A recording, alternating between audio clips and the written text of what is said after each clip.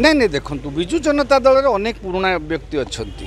ବିଜୁ ଜନତା ଦଳରେ ଅନେକ ପୁରୁଣା ଲୋକ ଅଛନ୍ତି। ଆପଣ କଂଗ୍ରେସରେ ଯେଉଁ ଚଉଦ ଜଣଙ୍କ ଭିତରୁ ସେମାନଙ୍କ ଭିତରୁ ମଧ୍ୟ ଅଧାରୁ ଅଧିକ ହେଉଛନ୍ତି ପୁରୁଖା ନେତା। ଭାରତୀୟ ଜନତା ପାର୍ଟିରେ ନବାଗତଙ୍କ ସଂଖ୍ୟା ଟିକେ ଅଧିକ। ସେମାନେ ଏବେ ପ୍ରଶ୍ନ କରିବେ ସେମାନଙ୍କ ଦଳ ସରକାରରେ ଅଛି ସେମାନେ କ'ଣ ପ୍ରଶ୍ନ କରିବେ? ସେମାନେ ଧୀରେ ଧୀରେ ତାଲିମ ପାଇକିରି ପ୍ରଶ୍ନ କରିବେ କାରଣ ନବାଗତ ହେଲେ କି ନୂଆ ଗୋଟେ ହେଲେ ବୋଲି କିଏ ପ୍ରଶ୍ନ କରିପାରିବନି ତର୍ଜମ ଜାଣିପାରିବନି ସେମିତି କିଛି ନାହିଁ ସମସ୍ତେ ସବୁ କରିପାରିବେ ଆଜ୍ଞା ଯେତେ ନବାଗତ ଆସିଛନ୍ତି ତାଙ୍କ ଭିତରେ ଅନେକ ଦକ୍ଷ ନେତା ଥିବେ ଯୁବ ନେତା ଥିବେ ନେତା ଥିବେ ସେମାନେ ଅଭିଜ୍ଞ ପ୍ରବୀଣଙ୍କୁ ମଧ୍ୟ ଆଗେଇ ଯିବେ। କିଛି ଦିନର ଯଦି ଯେଉଁ ଠାର ତାଙ୍କୁ ଶିଖେଇ ଦିଆଗଲା। ହୁଁ ତେଣୁ ନୂଆ ପୁରୁଣାରେ କିଛି କଥା ନାହିଁ। କିନ୍ତୁ ମନ୍ତ୍ରୀମାନେ ନବାଗତ। ମନ୍ତ୍ରୀମାନେ ହେଉଛନ୍ତି ନବାଗତ ଜଣକୁ ଛାଡ଼ିଦେଲେ ଆଉ କେହି ମନ୍ତ୍ରୀ ହେବା ମନ୍ତ୍ରୀ ଭାବେ ବିଧାନସଭା ସାମ୍ନା କରିନାହାନ୍ତି।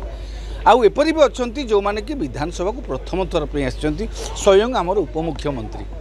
ହଁ ତେଣୁ ସେମାନେ ବିଧାନସଭାକୁ ପ୍ରଥମ ଥର ପାଇଁ ସାମ୍ନା କରିବେ ଯେହେତୁ ସେମାନେ ସେମାନଙ୍କର କହିବାର କଳା ଅଛି ଶୈଳୀ ଅଛି ରାଜନୀତିରେ ଭାଷଣ ଦେଇ ଦେଇ ଅଭିଜ୍ଞତା ହେଇଯାଇଛି।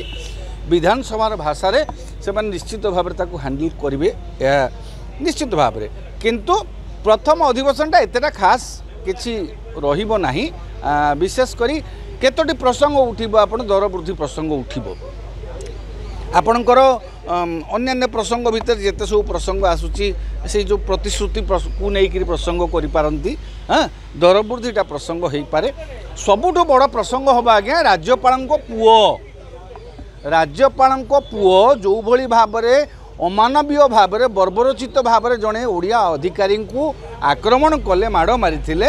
ସେଇଟା ଗୋଟେ ପ୍ରମୁଖ ପ୍ରସଙ୍ଗ। ଆଜ୍ଞା ଦର ବୃଦ୍ଧି ବିଷୟରେ ଆଜି ନ ଉଠେଇଲେ କାଲି ଉଠେଇ ପାରିବା। କିନ୍ତୁ ବର୍ତ୍ତମାନ ରାଜ୍ୟର ଆଇନ ଶୃଙ୍ଖଳା ପରିସ୍ଥିତିର ଯେଉଁ ନିରପେକ୍ଷତାକୁ ନେଇକି ଯେଉଁ ଗୋଟେ ପ୍ରଶ୍ନବାଚୀ ସୃଷ୍ଟି ହେଇଛି ବର୍ତ୍ତମାନ ଓଡ଼ିଶାରେ ଯେ ଗରିବ ଲୋକର ପୁଅଟିଏ କଲେ ତାକୁ ସାଙ୍ଗେ ସାଙ୍ଗେ ବାନ୍ଧି ଦେଉଛ ରାଜ୍ୟପାଳର ପୁଅ ଏତେ ବଡ଼ ଧର୍ତ୍ତବ୍ୟ ଅପରାଧ କରିଛି ତାକୁ ଏପର୍ଯ୍ୟନ୍ତ କୌଣସି କାର୍ଯ୍ୟାନୁଷ୍ଠାନ ତାକୁ ଯାଇକି ନେଇକି ଲୋକଙ୍କ ବିନାରେ ଗୋଟେ ଚର୍ଚ୍ଚା ତର୍ଜମା ଚାଲିଛି ସେଇଟା ଗୋଟେ ପ୍ରମୁଖ ପ୍ରସଙ୍ଗ ହେବ ଏଥର ନିର୍ବା ଏଇ ଯେଉଁ ବିଧାନସଭାରେ।